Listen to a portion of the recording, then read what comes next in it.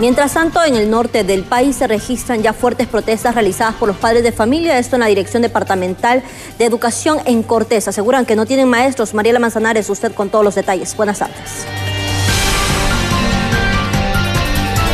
Efectivamente, compañeros, en el estudio central de Impacto BTV Meridiano hay esa problemática que están afrontando centros educativos de la zona norte, particularmente en Confradía Cortés. Escuche usted muy bien, Cuatro escuelas de esta zona se encuentran sin maestros. Únicamente hay dos docentes para atender a más de 500 estudiantes. Imagínese usted la gran cantidad que estas personas evidentemente no dan vaso para atenderlos.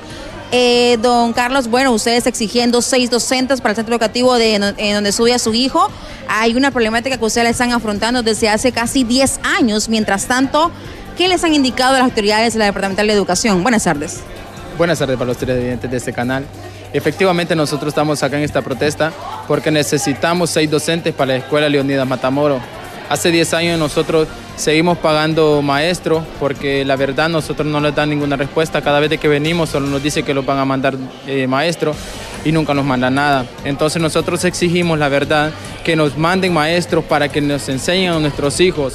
Eh, es un derecho que nosotros no pueden violentar porque sabemos que nosotros necesitamos que nuestros hijos eh, aprendan. entonces nosotros exigimos los seis maestros, son un mes que tenemos de que nosotros no, eh, los niños de nosotros no reciben clases. Entonces no es justo que nosotros estemos pagando porque tenemos 10 años que nosotros estamos pagando maestro e incluso el gobierno no nos ha mandado ni uno. ¿Qué pasa? Que las autoridades competentes tienen en el olvido al sector cofradía, ya que no están asignando maestros e incluso algunos siguen peleando por plazas laborales. La verdad no, le, no, no tenemos idea que porque los, no los mandan, porque efectivamente tenemos 450 alumnos de que solo dos maestros están dando clases en ese sector, en la, en la escuela Leonidas Matamoro. Eh, solo les están dando dos horas al día y eso no es justo que un niño esté recibiendo dos horas al día y habiendo plazas para maestros y y en escuelas que están necesitando maestros y no los mandan nada.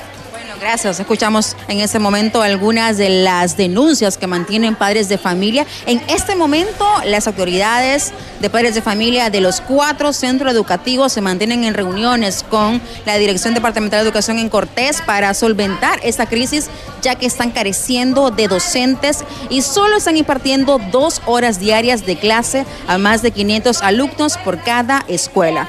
¿Qué estará pasando? ¿Cómo se resuelve este terrible hecho? Les estaremos detallando más información en unos instantes. Mientras tanto, vuelvo al estudio central.